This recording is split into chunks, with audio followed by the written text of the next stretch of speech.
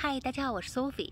今天呢，给大家介绍两株铁线莲。这两株铁线莲呢，都是老牌的、获奖的铁线莲，多年以来深受大家喜爱的。一株呢是深红色，极为鲜艳的深红色。你现在看到呢，它是有一点发玫瑰红。它初开的时候呢，颜色呢特别特别深。花看起来貌似有点小，其实它可以是非常大的，这么大，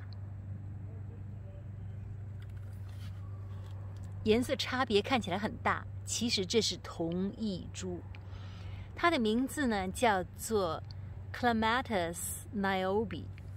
niobe 和其他的铁线莲相比呢，有一个特点，或者说叫做优点吧，就是说它既可以是二类铁，也可以是三类铁。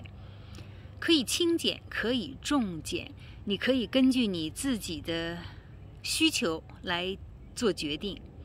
我通常呢，因为我这个地方呢种的很满，我是把它做三类铁重剪的。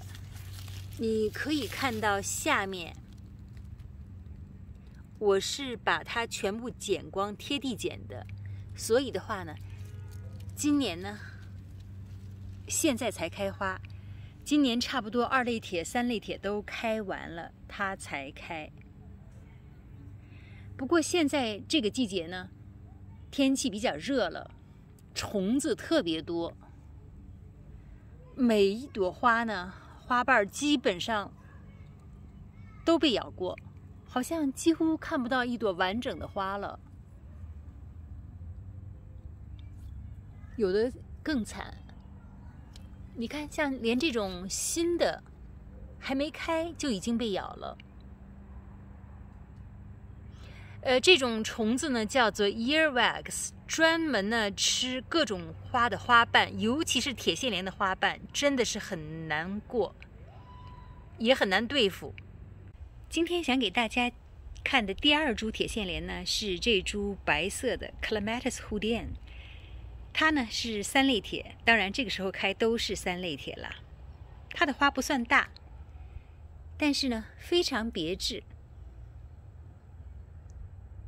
你看，花瓣呢是圆圆的，看着有点像透明的似的。它不光是正面好看，侧面和背面呢都非常的好看。看，这是它背面的样子。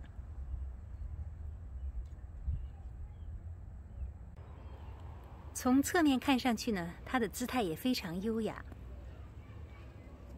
花苞也很好看。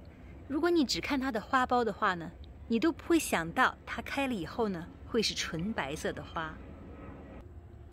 这株铁线莲呢是所有白色铁线莲里面我最爱的一种。它不光是观赏性比较高，花期也比较长，而且呢花量特别大。现在，即便是被虫子咬得不成样子了，看起来也还是楚楚动人。这就是今天我给大家介绍的两株三类铁线莲，或者说推荐的两株铁线莲吧，一红一白。在你选购铁线莲的时候呢，可以做个参考。我相信一定不会让你失望的。喜欢我的视频呢，请你点赞。希望看到我更多的视频，请你订阅我的频道，谢谢。